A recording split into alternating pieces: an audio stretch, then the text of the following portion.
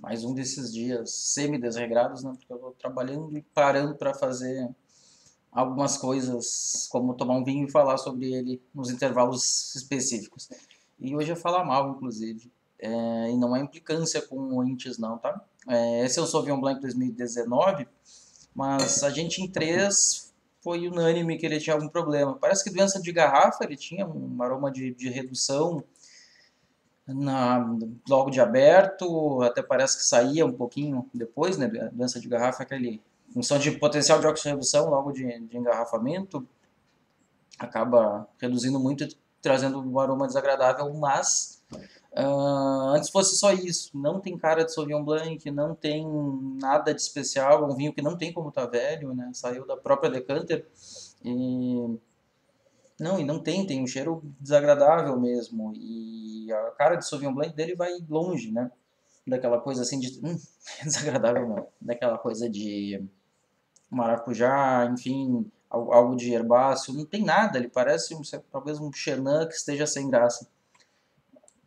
Aqui, falando sobre ele, vamos falar um montão de Mendoza, que o verão chega a 42 graus, aquela coisa toda, irrigação, mas o que me interessa é, é isso, que eles acham que eu vim de Porto, eu acho que particularmente não. A de San Juan, que é quente pra caramba, efetivamente.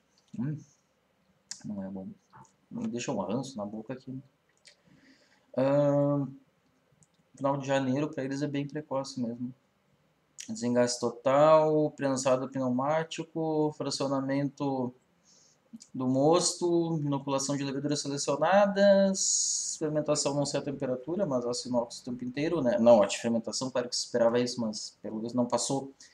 Centrifugação para estabilização, filtração e engarrafamento. Centrifugação às vezes tem traz problemas aí de de maior oxidação, alguma intensidade de cor e que eventualmente pode trazer problema posteriormente, mas particularmente não gostei. E acredito que hoje as centrífugas já estejam né, reguladas para isso. O pessoal antigamente não gostava muito, quer dizer que oxidava muito vinho.